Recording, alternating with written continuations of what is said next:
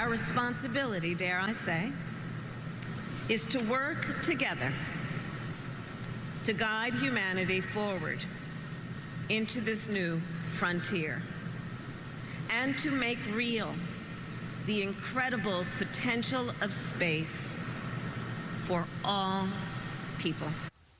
Vice President Kamala Harris there speaking at the National Space Council in 2022 where she announced new commitments to support space-related STEM initiatives calling on public, private and philanthropic sectors to work together to inspire and prepare a skilled and diverse space workforce. Space Workforce 2030 is answering that very call led by the Aerospace Corporation. SWF 2030 is training the next generation looking to hire 3,000 diverse paid interns by the year 2030. 30. With more, I am joined in studio by Via Van Leeuw, Principal Director of Diversity, Equity, and Inclusion at the Aerospace Corporation, Bavli Mobarak, a current SWF 2030 intern, and then also Christine Cruz there in the middle, a former intern who is now an aerospace employee. I would say that your internship paid off, right, Christine? Definitely. it's nice to have all of you here. Thank you so much. This is such an important topic that we discuss. So let's start with you, Via, and tell us about how this internship program works. This is such an exciting time within space. So with the National Space Internship Program, it's underneath the National Space Council, which led by President Kamala Harris, Vice President Kamala Harris.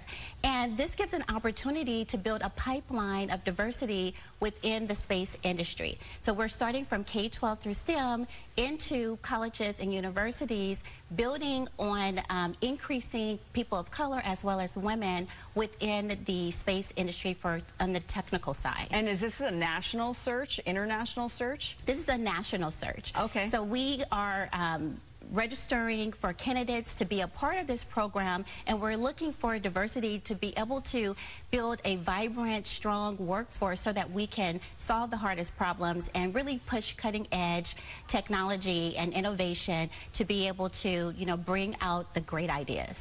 Do you think, Christine, that you would be an employee now had it not been for your internship?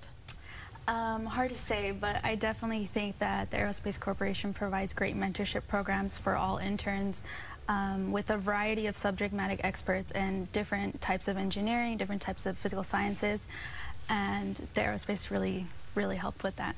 Well, congratulations uh, on making it as far as you have. And Thank then Bavli, uh, you I want to make sure I got your name right. Uh, correct me if I'm wrong.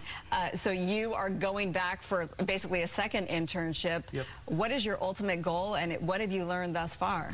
Uh, ultimately, my goal is to end up working in the space force or space industry, um, whether it's with aerospace or any of the other, you know, 30 partner country uh, companies in the space workforce.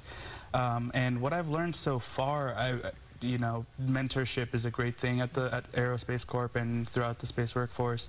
They've taught me so many valuable lessons when it comes technically and then also, you know, professional development skills. And one of the best resources so far is just being able to reach out to them post my internship you know, help with school, help with life, things like that. Oh, sounds wonderful. Why is diversity so important in this particular arena? Diversity is really important because it helps to, you know, to create innovation and cutting edge ideas. And we have an opportunity to really shape humankind and the quality of life as well as the security.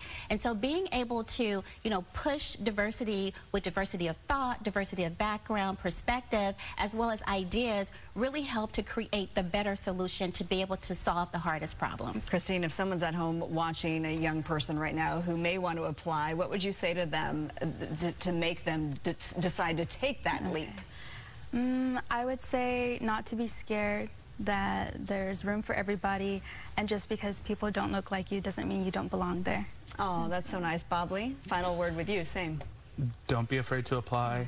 Uh, put your best foot forward and always ask questions. Everyone's willing to help. Uh, I love it. You're, you're also inspiring.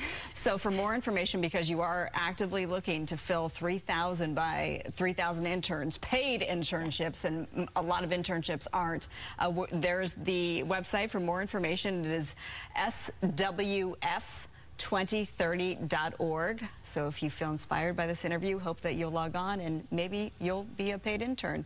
Thank you so much for being here, Via, Christine, and Bavli. Appreciate you all. Thank you.